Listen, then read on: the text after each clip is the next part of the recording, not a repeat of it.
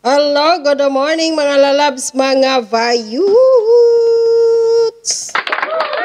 Magandang hapon Pilipinas, magandang magandang hapon sa mansulok ng mundo sa mga kapwa ko po FWs around the world. Mega mega love shoutout po sa inyong lahat.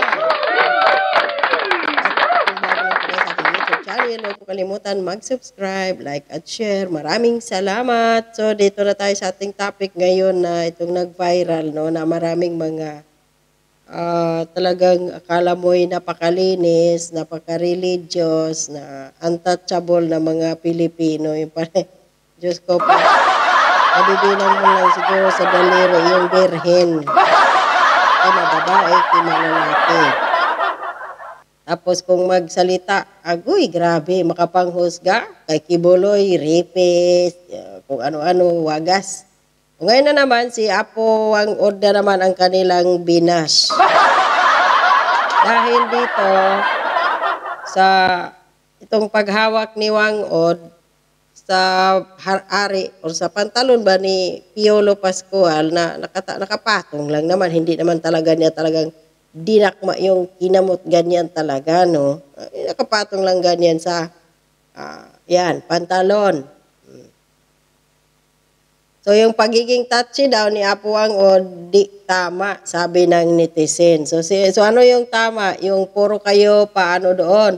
Pasayaw-sayaw sa TikTok, pabikin na kapag tumatagilid kayo, nakikita na yung mga kabilang pisngi ng inyong mga kipay. Hindi tama. At Apo Wang Od, eh, signature moves daw niya yan, sabi ng mga nakakakilala sa kanya dahil wala siyang pinipili. Kay mababae, kay malalaki. Talagang ganun daw siya eh. So, talagang parang ugali na niya talaga daw iyon siguro. Naglalaro lang, binibiro. Kasi pag minsan, marami din talaga namang nagpapatato na andoon sa mga singit nila. So, siyempre kapag magpatato ka, nakikita na nila, eh, kung babae, yung kipay. Kapag lalaki, alam mo yung baston ni Adan makikita din. Pang silbi doon? Ah, hindi mo hawakan tapos nakikita mo. Eh, ano ba? So, in- inimula, inulan ng samot-saring ah, reaksyon mula sa mga netizen sa social media ah, sa isang video kung saan nakikitang ginawang panghihipo ng mambabatok na si Apuang o sa private parts ng aktor na si Piolo Pascual nang dumayo ito sa Bulacan, Kalinga kasama ang kanyang kapatid na si Poche. Eh, As long as hindi nagagalit si Piolo, hindi siya nagreklamo na hinaras siya, sino ba kayo mga netizen na magagalit? Yung mismong may-ari nga na hinawakan ni Apuang o yung kanyang baston, eh, nakangiti nga eh. Tapos kayo nang galaiti kayo sa galit. Bakit? Dahil hindi ninyo nahawakan yung baston ni ni Piolo dahil si Apuang o yung humawak, so galit kayo. Pero kapag kayo ang hahawak sa baston ni Piolo, okay. Hindi pwedeng ibas kayo, ha? Oo. Ah, so, sabi dito na, yung, yung ginawa daw ni Apo Wang Od, hindi tama at ah, huwag daw magsarado ng ah, mata, no? Sa fact na iyan just because she is an icon. Imagine if it is an old man who did that. Everyone, if not all, will be pissed off. Kaya I don't understand bakit nagsasana all pa po kayo o nagsasana all pa kayo. Sabi ng mga netizens. So pag ikaw yung tatapo o hihipo kay Piolo, anong sasabihin namin? Yak, kadiri ka. Ayan.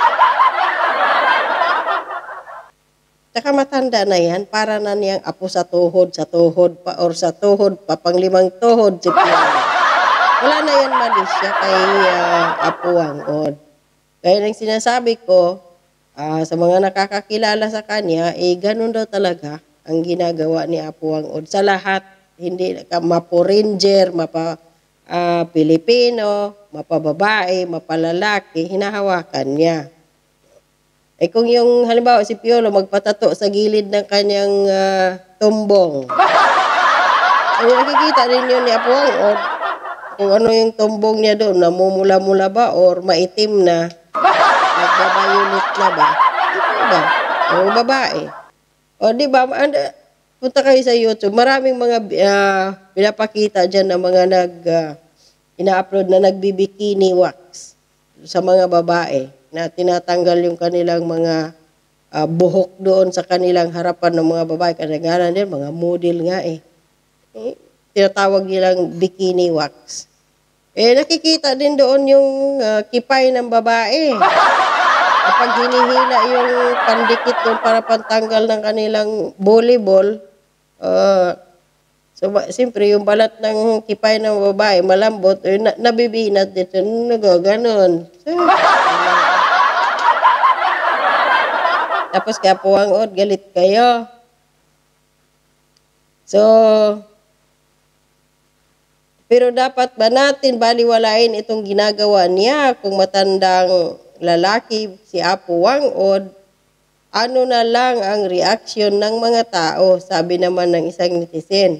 Dipinsa naman ng ilang netizen kay Apo Wang Od, hindi umano dapat maging biktima ng cancel culture ang initot ang itinuturing na national living treasure ng Pilipinas at sa halip ay pagtuunan ng pansin ang ibang mas mga importansing isyu sa bansa. Correct, gaya ng pampagtaas ng bilihin ngayon lahat.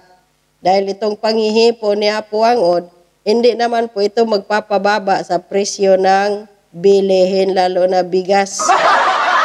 Ito ay magpapataas sa kilay at panghihinayang lang ng ibang mga netizens dyan na nagpapantas uh, kay Piolo na hindi nila nadakma or hindi nila nahawakan ang uh, sungkod ni or tungkod baston ni Piolo. Yun natanggap kasi apo ang od pa na 107 years old lang pala ang may mak ang makakahawak sa baston ni Piolo.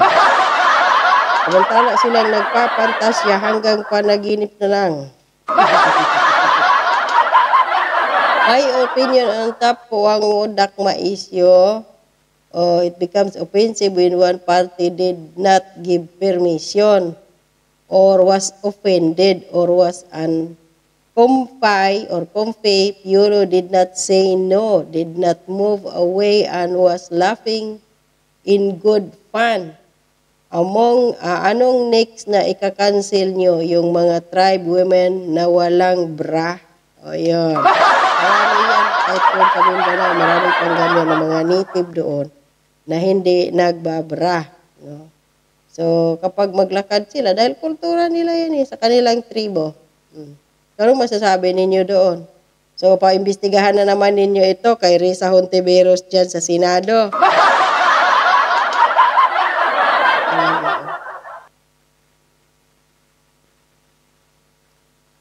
So, tatalak kayo kay Iboloida uh, kay Apo ang Odaw tapos didma kay uh, tatalak daw kay Apo Wang Od tapos didma daw kay Kiboloy. Na, just ko po. Ikiboloy, kayong mga tanga dyan, mga bobo, tandaan ninyo na sa ating 1987 Constitution or nasa, sa, ano to ha? Korte natin. Ah, mayroon tayong Article 66, Presumption of innocence till proven guilty. Ang isang tao kahit nakapatay ng isang libo, nakagahasa ng limang daan ng mga kabataan or mga tama sa edad, lahat mga kababaihan, ganyan. Hang, uh, hanggat hindi siya po nahatolan ng korte ng guilty beyond reasonable doubt, siya ay matatawag na inosente.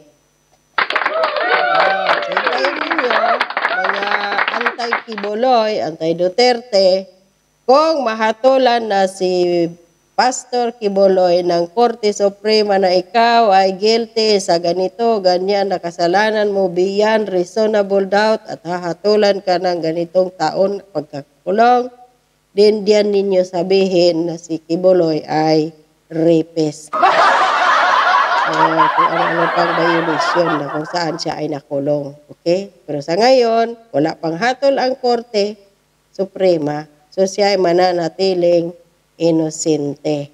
So yan, saksak ninyo sa mga kukote ninyo, no? So dito kay Apo ang od, kayong mga galit-galitan dyan kay Piolo, inggit lang kayo.